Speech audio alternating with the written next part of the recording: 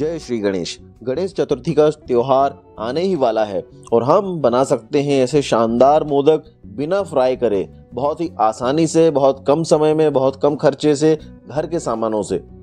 और इसको बनाएँगे कुछ इस तरीके से स्टफिंग वाले। और ये दिख रहे हैं ना बिल्कुल चॉकलेटी लेकिन इसमें ना चॉकलेट का इस्तेमाल किया गया है, ना कॉफ़ी कलर का इस्तेमाल किया गया है। देखिए इतने शानदार बनते हैं, लेकिन आपको बनाने के बाद अपने घर के बाल गणेशों से बचा के रखिएगा। और देखिए, इसके अंदर की फीलिंग देखिए, कितनी शानदार है, एकदम दानेदार। तो कैसे बनते हैं ऐसे शानदार मोदक? चलिए बनाते हैं। यहाँ पर ले रहे हैं हम ये ड्राई फ्रूट का पाउडर तैयार कर लिया हमने, जिसमें नारियल जो किसा हुआ है, उसकी क्वांटिटी थोड़ी ज़्यादा है, काजू, बादाम, मखाने, जो भी आपके पास अवेलेबल हो, आप उनको एक दरदरा सा पाउडर तैयार कर लीजिए। इससे एक बहुत शानदार वाली स्टफिंग तैयार होगी, जो मोदक के स्वाद को बहुत अच्छा बढ़ा देगी, और ये अंदर से एकदम भरे भरे रहेंगे। तो ये हैं, और इसके साथ में हम ले रहे हैं यहाँ पर थोड़े से ये खजूर। तो एक खजूर के हमने अंदर के जो बीज हैं इसके यहाँ पर निकाल दिए हैं, और अब है ना इसको इसके साथ में हम मिक्सर ग्राइंडर में पीस लेंगे तो अंदर की जो स्टफिंग है एकदम सॉफ्ट मुलायम, बहुत शानदार, स्वादिष्ट बनेगी, और हमको इसमें शक्कर मिलाने की ज़रूरत बिल्कुल भी नहीं पड़ेगी इसकी स्टफिंग में। तो ये देखिए इसको पीस लेते हैं तो खजूर को मिलाने से ये फ़ायदा होगा कि ये थोड़ी सी नरम बन जाएगी तो ये हमारी छोटी सी स्टफिंग या बॉल ऐसे दबाने से आसानी से बन जाएगी। ये, इस वजह से खजूर का इस्तेमाल किया है ताकि एक अच्छी सी मिठास भी आ जाए, हमको शक्कर भी ना मिलाना पड़े। ये हो गई रेडी आप कढ़ाई में लेते हैं दो चम्मच देसी घी।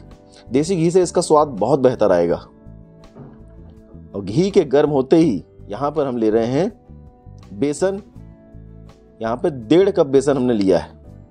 वज़न से कहें तो लगभग 250 ग्राम के आसपास। और इसे अच्छी तरीके से भून लेना है। देखिए, अभी जो है ना घी, बेसन में पूरा एब्जॉर्ब हो जाएगा। अभी बेसन जो है, सारा घी हमारा सोख लेगा। लेकिन जैसे हम इसको पकाते रहेंगे ना लगातार, बिल्कुल मध्यम आँच पे तो ये वापस से घी छोड़ना शुरू करेगा। तो जैसे जैसे ये घी छोड़ना शुरू करेगा तो हम समझ जाएँगे यहाँ पे कि हमारा बेसन अच्छी तरीके से पक चुका है। ये देखिए, कितना पतला होते जा रहा है ना पहले से। बस। तो एकदम इसका कलर चेंज हो जाएगा, एकदम भुना हुआ बिल्कुल सुनहरा सा जब कलर हो जाएगा ना, तब मानेंगे हमारा कि बेसन हो चुका है।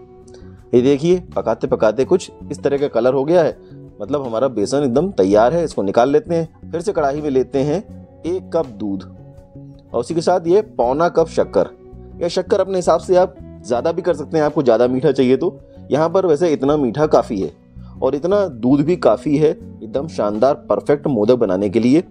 बस दूध को गाढ़ा होने तक अच्छी तरीके से पका लेंगे।